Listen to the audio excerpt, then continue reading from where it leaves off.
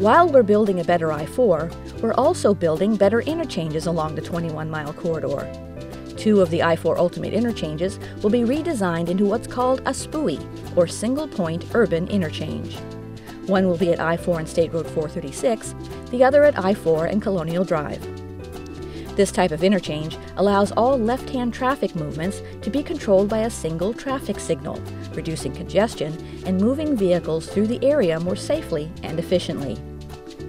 Single point urban interchanges are able to handle higher volumes of traffic and they can be constructed in areas where there is limited space. At State Road 436, the SPUI will be above I 4.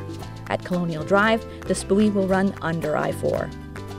Stay informed about the project by logging on to i4ultimate.com. The website has information about the entire 21 mile corridor and what changes are being made. On the website, you can sign up for route specific email and text alerts and our monthly e newsletter.